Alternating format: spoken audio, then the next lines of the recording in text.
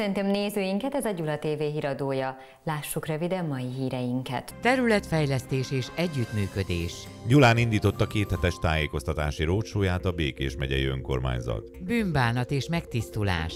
Megkezdődött a nagybőjt, vagyis a húsvét előtti 40 napos időszak. Modern, interaktív lesz a tárlat. Napokon belül megkezdődik az Almási Kastély kiállításának közbeszerzési eljárása. Felújítás Békés Csabán. A Munkácsi utca négy szám alatti épületbe a kormányhivatal rehabilitációs szervezete költözik. Kiemelt feladat a tájékoztatás. Hétfőnként civil konzultációs nappal segíti az érdeklődőket a Gyulai Törvényszék. Az őr értesítette a rendőrséget. Szabálysértési eljárást indított a rendőrség egy gyulai férfi ellen lopás miatt. Kettős célja volt a megyei önkormányzati rócsó gyulai állomásának. Egyrészt tájékoztatást adtak a területfejlesztési operatív program jelenlegi állásáról, másrészt a projektmenedzseri feladatokkal kapcsolatban partneri együttműködést ajánlottak. A nyolc állomásos fórum első helyszíne volt a fürdővárosi.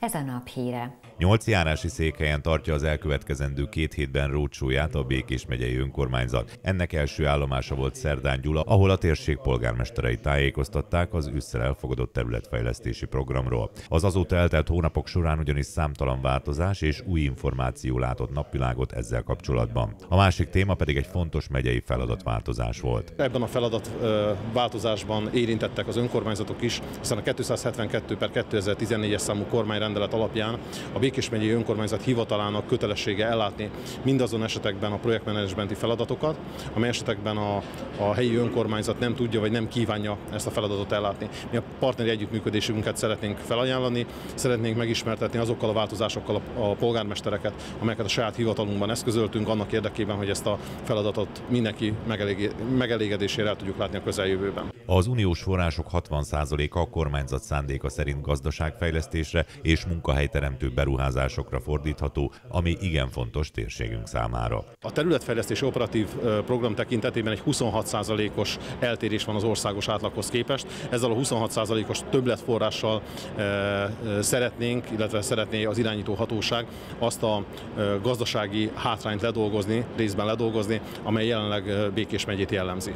Gyula tekintetében a turizmus a húzó ágazat, ám a városvezetés elkötelezett a munkahelyteremtő beruházások mellett. Ezeket már beépítették a megyei fejlesztési programba. Ezeknek a megvalósulására jó esély van a források tükrében, fogalmazott Kónya István alpolgármester. Például a déli ipari parknak a komplex tervezése, kiépítése, infrastruktúrális bővítése, ez egy másfél milliárdos projektről tudunk beszélni, vagy mondjuk egy zöldségfeldolgozó üzem, illetve a közétkeztetésben való bevonása, fejlesztése egy milliárd forint nagyságrendben, de energetikai korszerűsítések mindenféleképpen szerepelnek a terveink között, önkormányzati intézmények energetikai korszerűsítése, például az óvodák vonatkozásában, így például ugye a törökzugi óvoda, amivel kapcsolatban éppen a héten voltam kint az óvodában, és a szülőkkel konzultáltam, a Balcsi Zsilinszki úti óvodának a felújítása, és még természetesen iskola felújítása, kerékpárutak építése 15 km hosszúságban, tehát számos olyan terv van, amit mindenféleképpen ebből a forrásból szeretnénk megvalósítani az elkövetkezendő években. Márciusban a város tervei szerint a pályázati forrásokról szeretnének egy részletes tájékoztatást nyújtani a gyulai vállalkozások számára.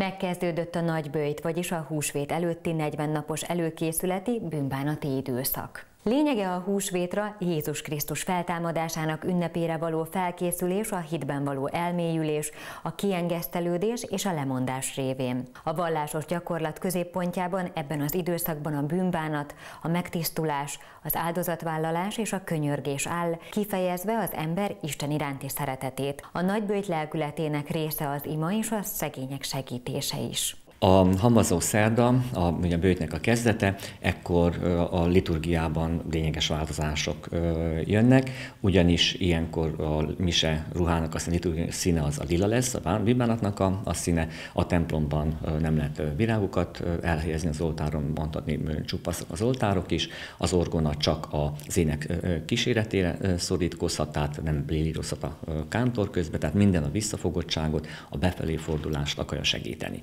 Thank you. Napokon belül megkezdődik a felújítás alatt álló Almási kastély kiállításának közbeszerzési eljárása. Hangzott el a három témában.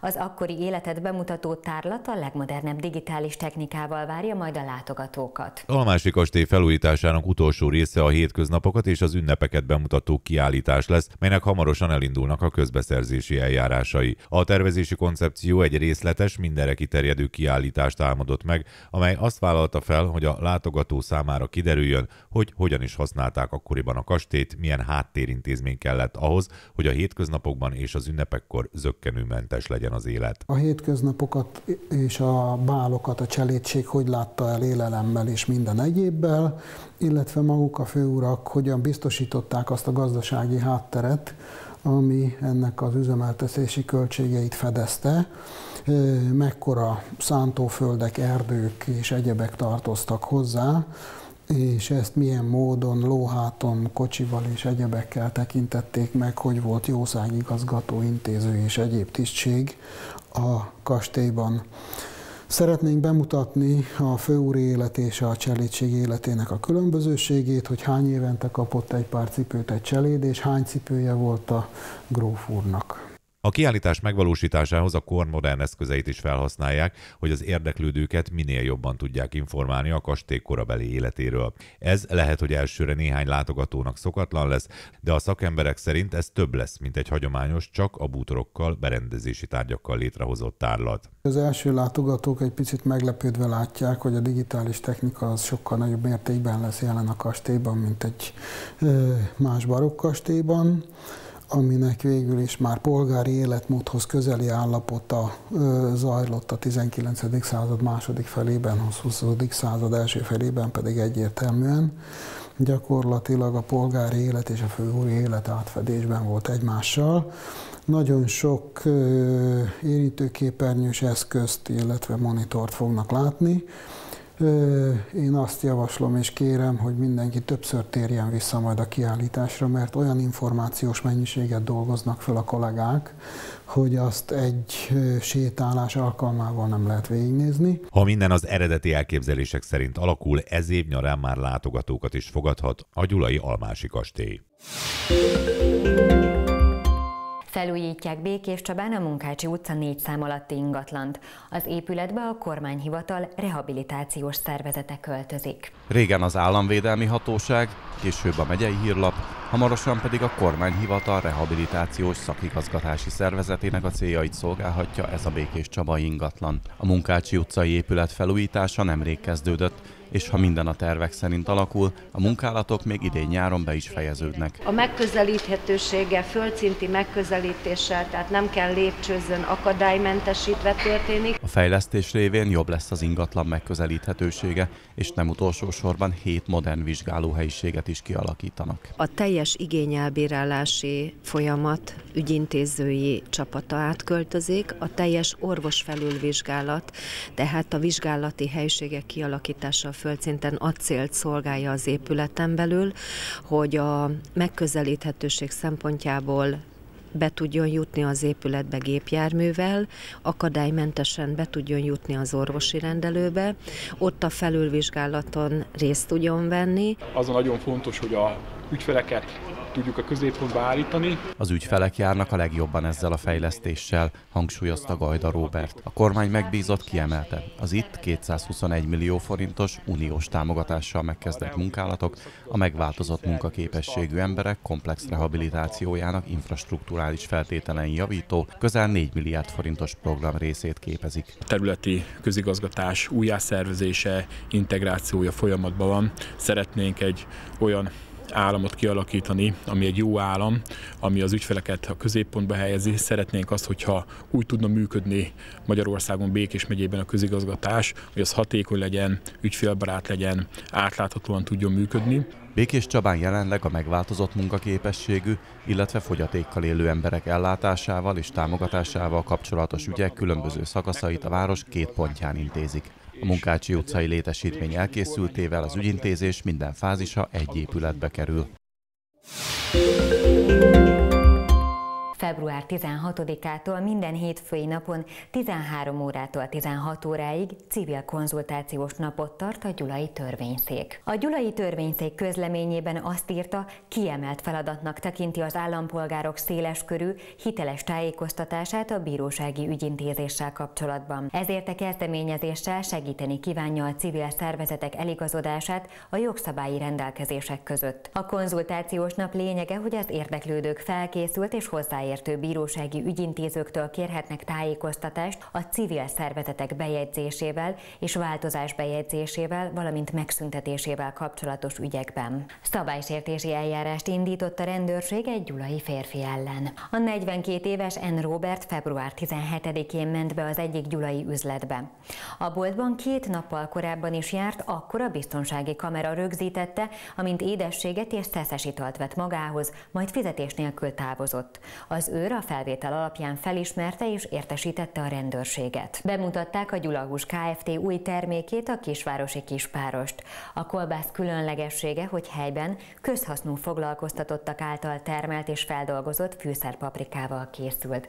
Rövid hírek következnek. Így néz ki a kisvárosi kispáros, a Gyulahús Kft. legújabb innovációja. Az új kolbászból egyenlőre pár száz kilogrammot gyártottak, de siker esetén ez akár több tíz tonna is lehet. A kedd délelőtti sajtótájékoztatón Dakas a cégvezetője azt mondta, kül- és belpiacokon egyaránt szeretnének megjelenni a prémium kategóriás, a gyulai ízvilágot idéző termékkel. A kolbász egyik különlegessége, és leginkább ez különbözteti meg a kispáros kolbásztól, hogy értékteremtő közhasznú munka áll mögötte.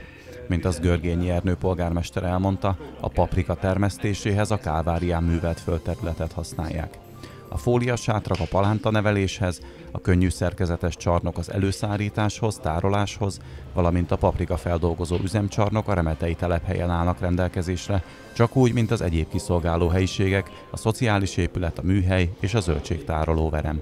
2014-ben a program keretében megtermelt fűszerpaprika mennyisége 11.758 kg volt, mely feldolgozva több mint egy tonna fűszerpaprika örleményt eredményezett. E mennyiségből a közétkeztetés számára 140 kg-ot értékesítettek, a fennmaradó mennyiséget a Gyulahús Kft. dolgozza fel. Megérkeztek az első nevezések az idei Pálinka Fesztiválhoz kapcsolódó versenyekre. Többek számára újdonság lehet, de a pálinkák és a likőrök mellett több olyan megmérettetést rendeznek április 17 és 19 között, melyek valamilyen módon a gyümölcsökhöz kapcsolódnak. Így nem csak sütemények és befőttek versenyére kerül sor, hanem a lekvárok is felsorakoznak. Utóbbira vörös szilvából és fügéből is érkezett már egy-egy üveg. A pálinka újkori története 2000-ben Gyulán kezdődött, amikor Lovász Sándor meghirdette az első Kisüsti Pálinka Fesztivált. A program ötletgazda főszervezője kiemelte, külföldről is komoly érdeklődés övezi a rendezvény. Lovász Sándor beszélt arról is, hogy bár a világ több részéből érkezett nevezés, tavaly éppen a gyulai manufaktúra nem tartotta fontosnak, hogy részt vegyen az ország legnagyobb és egyben legjelentősebb pálinkás ünnepén. A sajtótájékoztatón arról is beszélt, idén nem érdemes hamisítani a belépőjegyeket, mert erre külön odafigyelnek majd.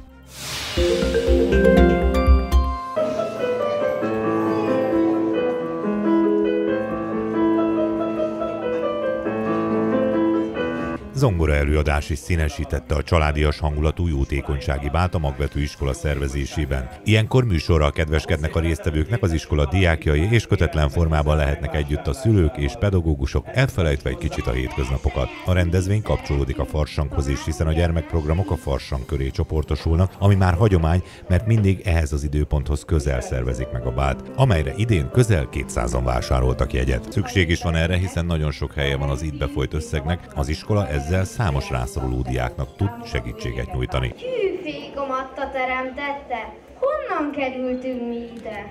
Honnan, honnan? Lakunk messzi honnan. A szervezők elmondták, hasonló jótékonysági bált a református óvoda javára ősszel rendeznek majd.